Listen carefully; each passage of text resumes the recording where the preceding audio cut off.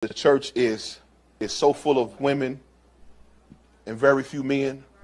Amen. While you could go in church with 500 people and it'd be maybe five marriages, and those are the leadership.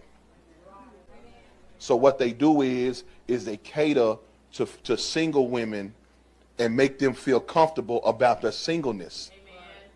Y'all heard what I said.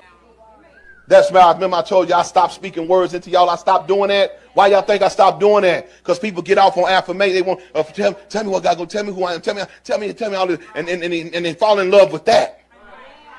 And that's why every message has to be your season, your harvest, your breakthrough. What God's gonna do for you. Your you you know you know you know who you are. You know you going to the name. All that stuff. You, they got to do it because women will continue to give as long as they're affirming.